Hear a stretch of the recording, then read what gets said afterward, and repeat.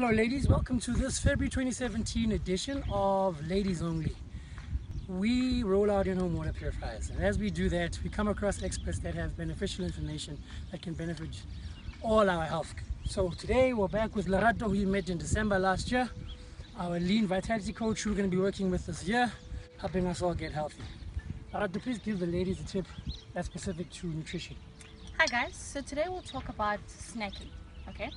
And how most people, actually no, there is, there's bad snacking and there's good snacking. So we're talking about after you've had your meals now. So this Yes, is mid-morning Yes, and then that's period between lunch and dinner, yes. okay? So in most cases, people snack on chips, they Like snack on fruit, like Simba, Uh, all those Lays, you know I mean? chocolates. chocolates, you know? Fruit, So that is actually gonna increase your sugar levels.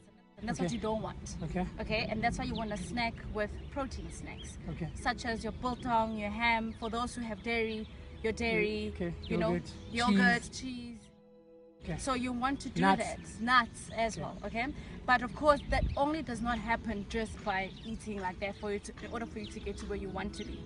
There's more to it, just not not just just eating, But it's a small step. but it's a small step. You can start by actually eating the protein for snack. Okay, cool. Yes. Thank you, Lerato. Fantastic. This year we're going to be working very closely with Lerato, but focusing a lot around what we learn on Health Point. If you want to find out more about that, we're going to put our contact details at the bottom. Have a fantastic day. See you soon.